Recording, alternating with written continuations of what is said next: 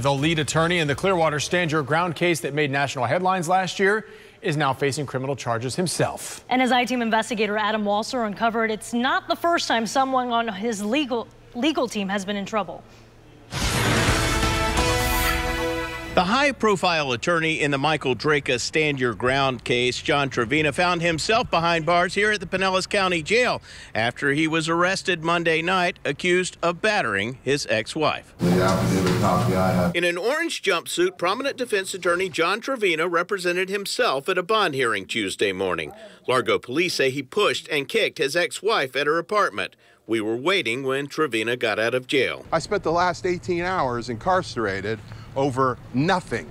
Nothing whatsoever. And I can assure you the charge will be dropped. I will be vindicated. We got into a verbal altercation. I think part of it you might have even video recorded.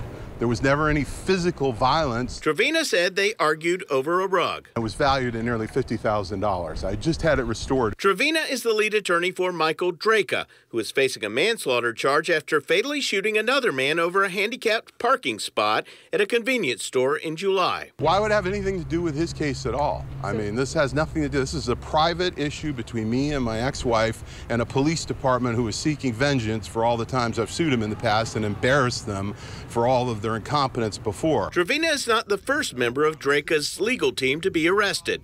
Attorney Lysa Clifton resigned after she was arrested twice for driving under the influence. Actually, the third attorney was arrested as well. Wil Flores had a DUI arrest, so uh, three of us have had arrests. Arrests don't mean anything.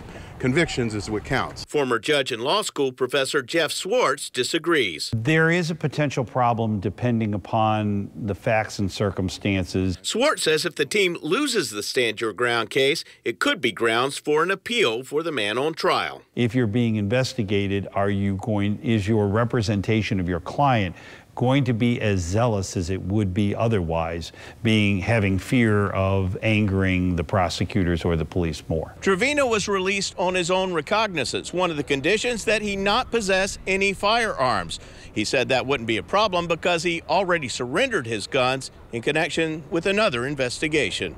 I'm I-Team investigator Adam Walser taking action for you.